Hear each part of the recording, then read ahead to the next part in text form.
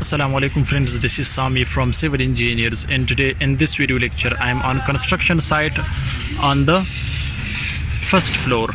Here guys you can see today in this video I will discuss the development length and lapping length. What's the main difference between lapping length and development length? But I will show you it's practically in this video. This is top beam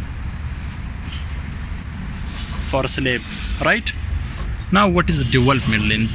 Friends theoretically i've already discussed that development length and lapping length. What's the main difference between development length and lapping length? Here you can see this is called development length.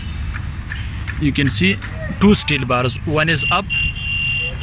This is okay and this is the second steel from this point to this one. You can see this steel bar is coming downside and this steel bar is going to upward side this is called development length. So why development length? Use and where we can provide development length. Development length should be provided at the end of the supports. So what are support? Support is a rcc column. You can see this is rcc column. Support and development length is at the end of the support. And development length provide for what purpose? To transfer the load from the steel to concrete because this is rcc beam okay reinforced cement concrete beam. So development length is provided to transfer the load from steel to concrete. So therefore they provide development length. So now you can see here the length of the development length is 1 feet here 12 inches.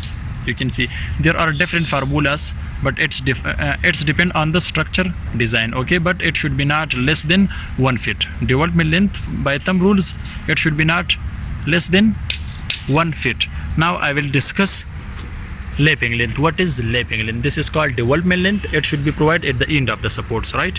Now I will show you here lapping length. I have already discussed that lapping length should be provided at the mid not at the end of the supports okay? So this is lapping length you can see. This is called lapping length.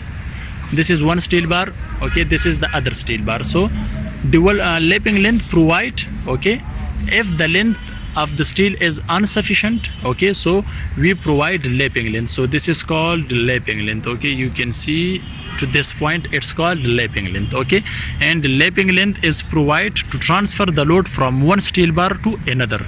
You can see this is one steel okay and this is other steel bar.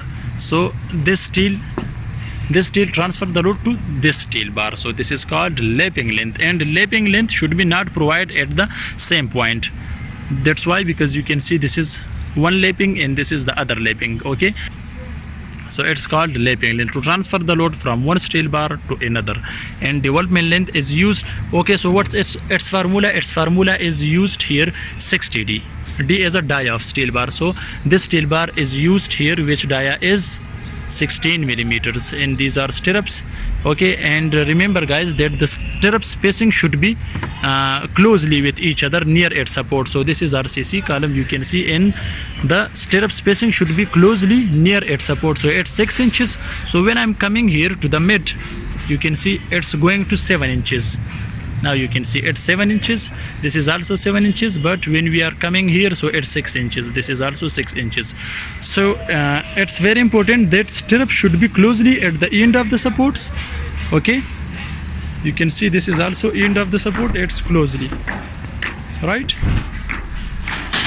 so this is the main difference between development and lapping length guys if you have any question because i've already discussed practically on the construction site so you can comments i will try to reply your answer.